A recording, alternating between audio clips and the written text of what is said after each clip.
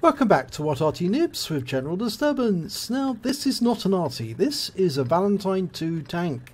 It's the free reward tank for the recent mini marathon, and it's me that's driving it. Um, and we're on the east spawn of Westfield.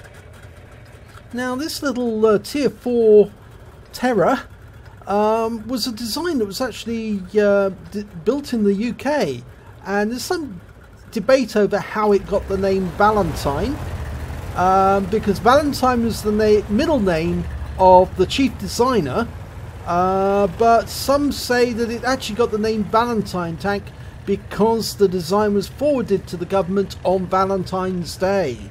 Um, but they still don't know who actually gave it the name Valentine.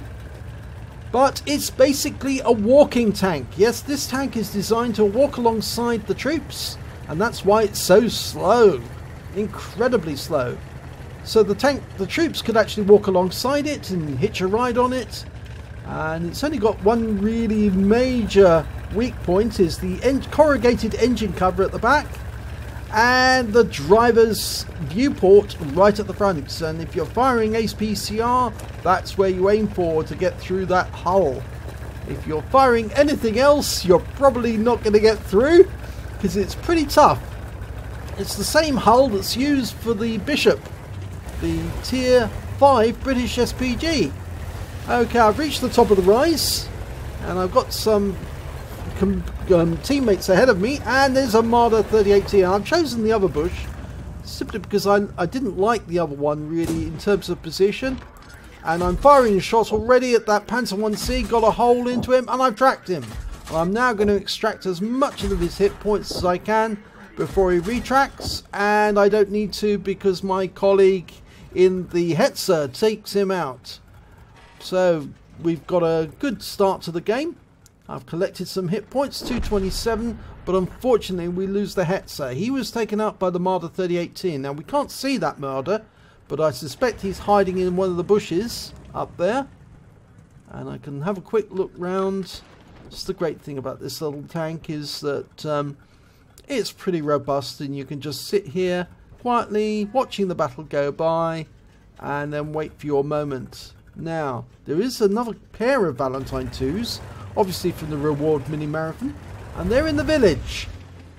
And they're having a go at our Valentine but because of the position I'm in and that ridge line in the way I can't fire at them. But that's okay they can't fire at me either. And there's that Marder 38T the one that took out the uh, Hetzer.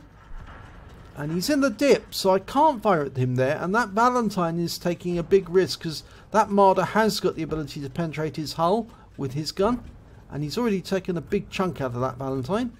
But there's an Su-76 FT, the Chinese version. I put a round into him. And another. And he's not moving. A third. And he's pulling away. I missed on that one. Round out. I got a hit. Critical hit there, but um, it didn't appear to do any damage on that last shot.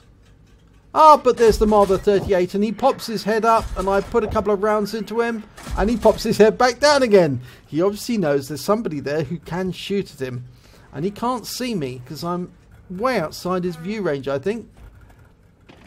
And plus of course I'm in a bush but I'm not using the bush mechanic actually, funny enough.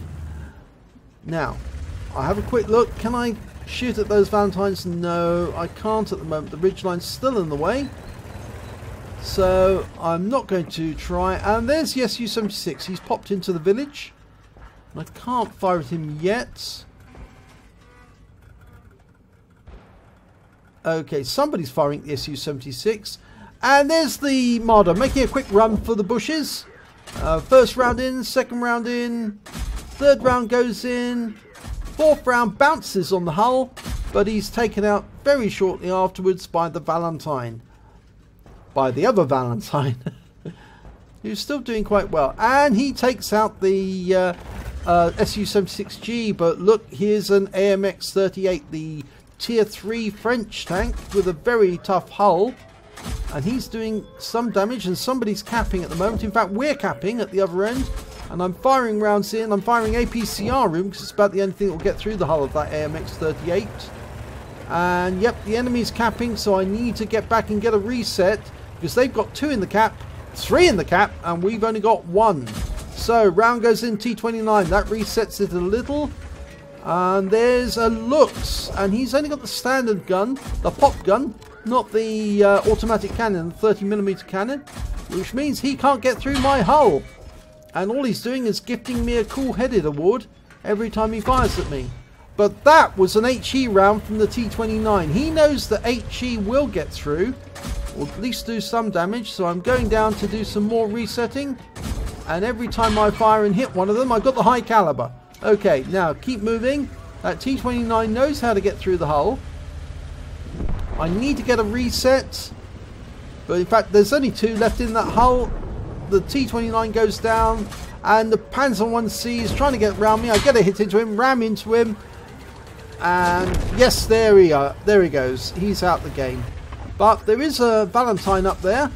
And our guy's still capping which means we're definitely going to win and it's just a question of taking out this Valentine. Now I'm out of standard APCR but I'm firing up into him and getting some hits on him but I'm now firing HE at him. I've run out of AP and we'll just keep firing at each other until the cap is finished and we've won the battle. And that was a bit of fun. Um, what was surprising about this battle was the results, and I didn't actually expect this. It was only a first class mastery um, in the uh, Valentine 2, but I also picked up a sharpshooter for getting at least 10 consecutive hits, a master gunner for getting at least 5 armor penetrating hits in a row, and I think that was on the uh, tank destroyers up on top of the hill, um, and a fire for effect for doing more damage than the hit points of my vehicle, and a bruiser medal for getting at least 5 critical hits during that battle. I got 14. But best of all, uh, from the Luchs, I actually managed to pick up a cool-headed award because he did hit me with at least 10 ricochets. Um, I picked up a high caliber for dealing the most damage in the battle, at least a thousand hit points.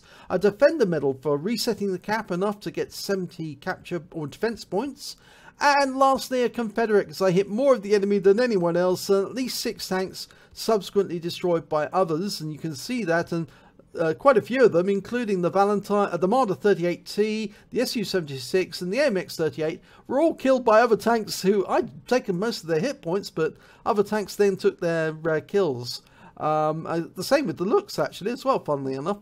Uh, I didn't get the kill on him, but I put five shots into him, and you can see the number of shots I put into these tanks and just didn't get the kill for it. But anyway, um, team score wise, top of the table when it came to damage, 1,162 hit points.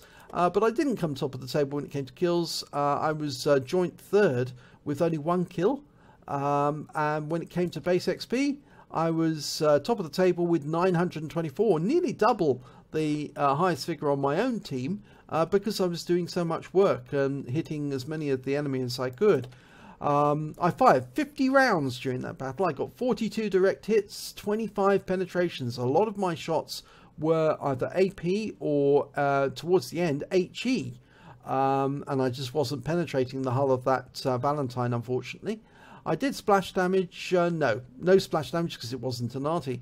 I did damage of 1,162 hit points, of which 359 were at more than 300 meters. So I received 41 hits, 5 penetrations, 36 non-penetrations thanks to that Luchs, and I blocked damage of 281 hit points in total.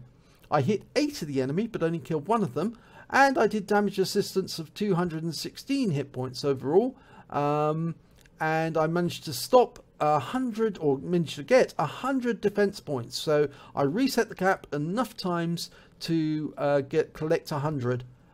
On a premium account I earn 41,511 credits.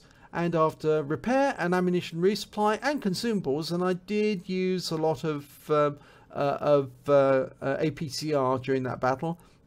In fact, my entire load of APCR, um, I still ended up with 24,901 credits, and I received 1,386 XP, but it was times two for the first victory of the day, and I also got a premium because the Valentine 2 is a premium account, uh, premium vehicle, so I picked up a total of 3,465 XP altogether.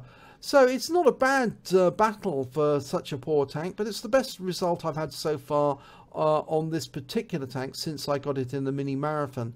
and uh, I thought you might like to see it. Uh, win 8 of that one of 4666. Uh, no allusion to the devil. Um, but it just goes to show that uh, such a poor little tank like that can pull off pretty good results if you stay in the right position. And I think really on this battlefield, if you were to try and go down the south route with all the other light tanks, I think you would rapidly be left behind and you wouldn't be able to re recover back to the cap if the enemy uh, conquered the north route. But from the position I was taking just above the cap, uh, just in case the enemy did actually manage to make it through to the cap, you can sort of like pounce on them from the cliff top and wipe out any that are capping. Uh, and so it worked out pretty well. Uh, if you enjoyed this replay, please give it a like and do subscribe to our channel. And hopefully it'll be your replay that I'll be featuring in our next video.